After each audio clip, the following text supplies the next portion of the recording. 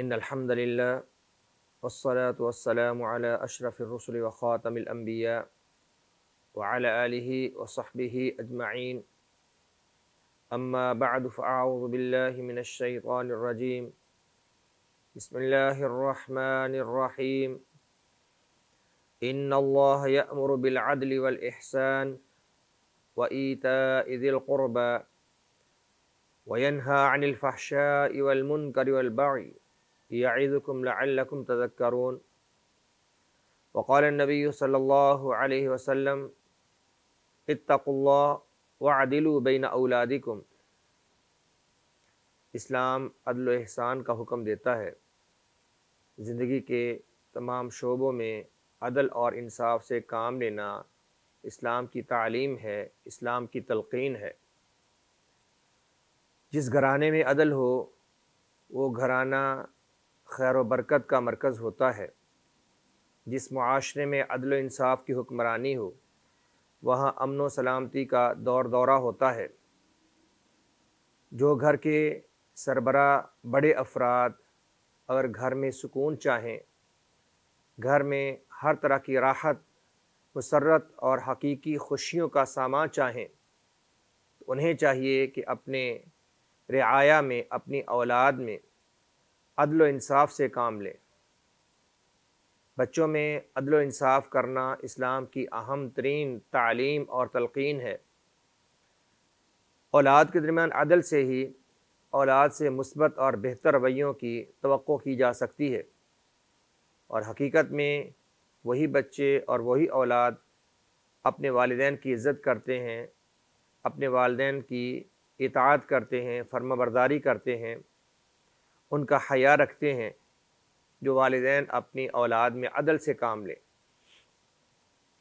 अपनी औलाद को एक जैसा सलूक देना, एक जैसे वसाइल फ्राहम करना, सबको एक नज़र से देखना और सबके साथ एहसान का रवैया रखना, ये वालदेन की ज़िम्मेदारी है। और अगर किसी औलाद को ज़्यादा नवाजने की कोशिश की जाए और दीगर को महरूम रखा जाए इससे औलाद में मनफी, जज्बात और गलत किस्म के ख्याल और तसरात का जन्म होता है। रसूलुल्लाह वसल्लम के ज़माने में एक वाक़ पेश आया। हतनुमान बिन बशीर रज़ी अल्लाह फरमाते हैं कि जब मेरा जन्म हुआ, मेरी विलादत हुई तो मेरी वालदा मेरे वालिद बशीर से कहने लगी कि मेरे इस बेटे के लिए कुछ प्रॉपर्टी इसके नाम करो। और उस वक्त ग़ुलाम बड़ी प्रॉपर्टी समझे जाते थे। कहने लगी कि ग़ुलाम इसके नाम करो। हतनुमान कहते हैं कि मेरे वालिद ने वालदा की बात मान ली, हामी भर ली।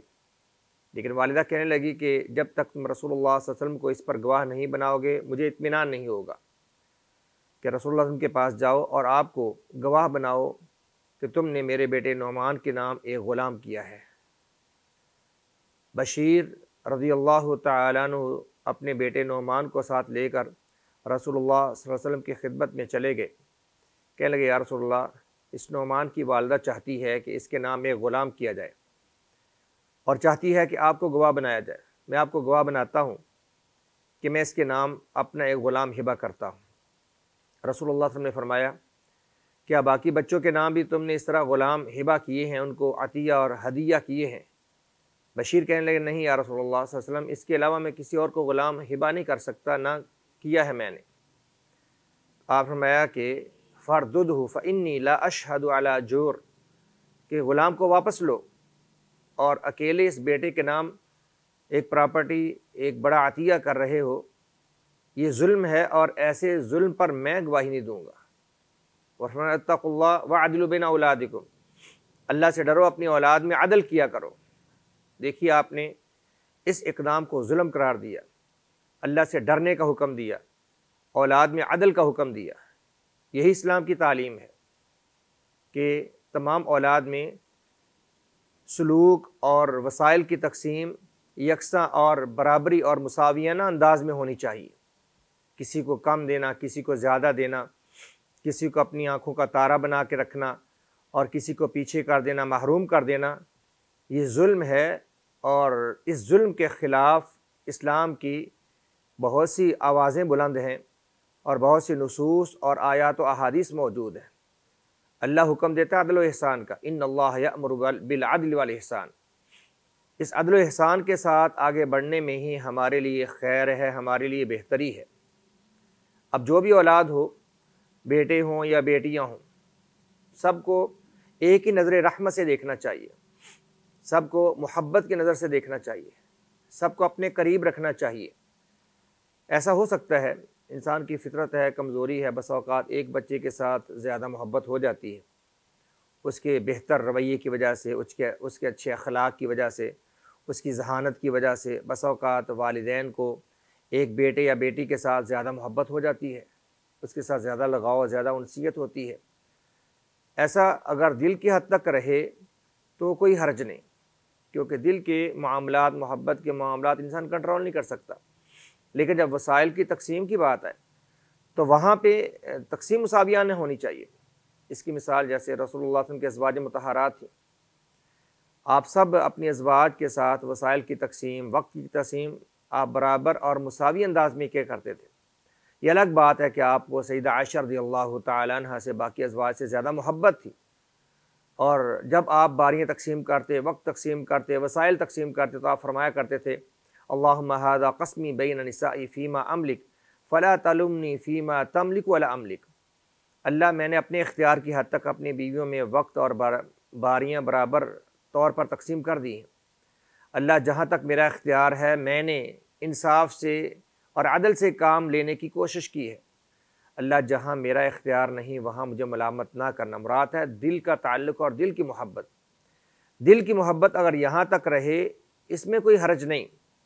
किसी एक बेटे में ज़्यादा सलाहियत होती है, किसी एक बच्ची में ज़्यादा जहानत होती है, बाज़ बच्चे ज़्यादा अखलाक वाले, ज़्यादा बेहतर रवैये और किरदार के मालिक होते हैं तो फितरता वालदे को उनसे ज़्यादा लगाओ ज़्यादा उनसीत हो जाती है। इसमें कोई हरज नहीं।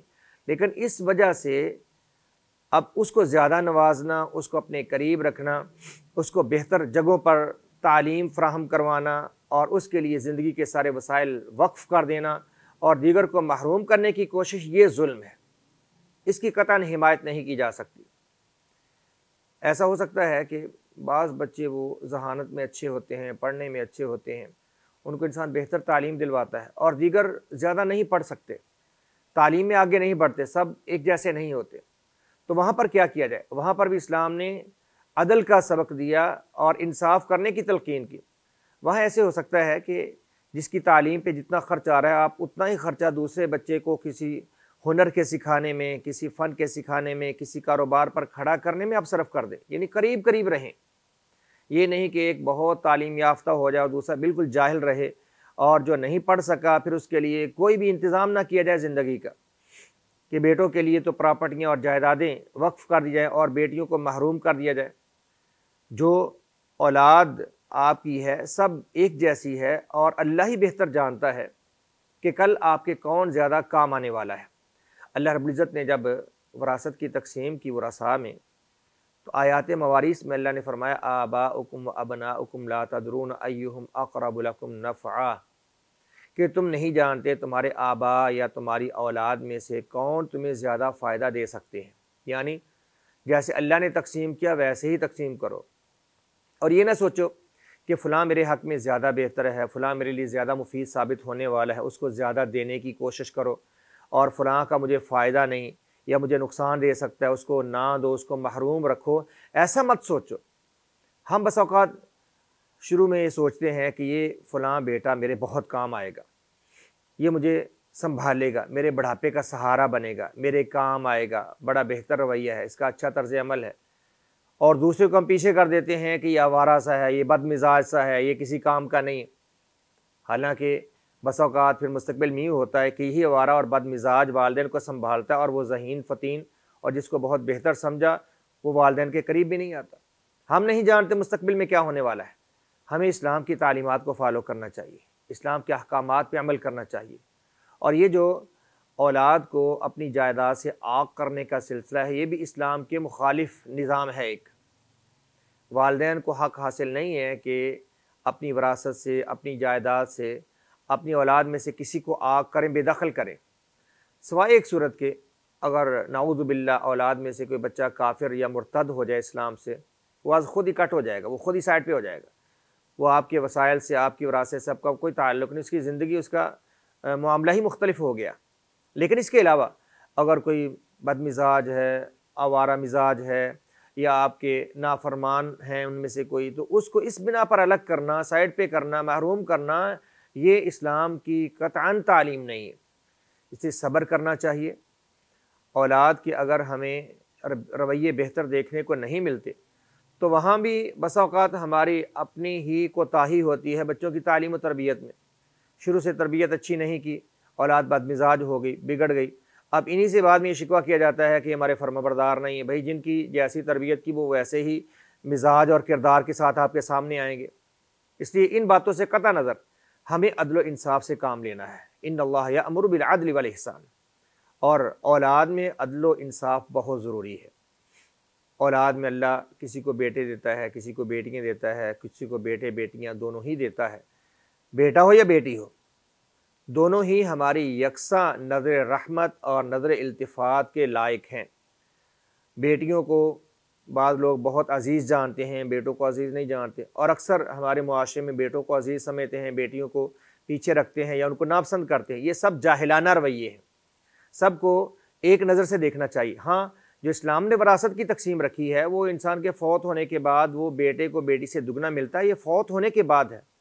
और ज़िंदगी में बेटा हो या बेटी हो, उनके साथ यकसा सलूक करना है।